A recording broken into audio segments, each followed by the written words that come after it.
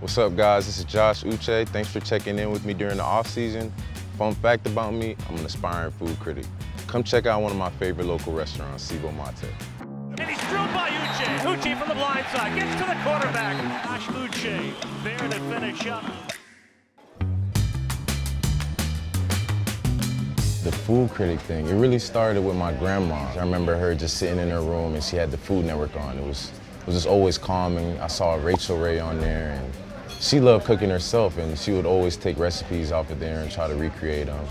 And I'm kind of like a, like a wild card. I like to mix a bunch of them together and just, you know, see what I get. I made it, so I'm gonna make it like a 10 out of 10 because of the, the dressing on it and stuff. Awesome. I wish you guys were here. Like, if you, if you could smell these wings right now, bro, I'm at peace right now.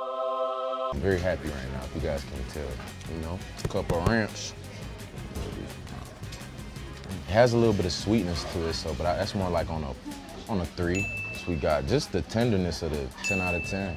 The 8 out of 10 on crispiness. Awesome, thank you. Well, what I like to do, I turn the plate like this. You got your ketchup to the side, and I'm not looking for, hey, where's the ketchup at?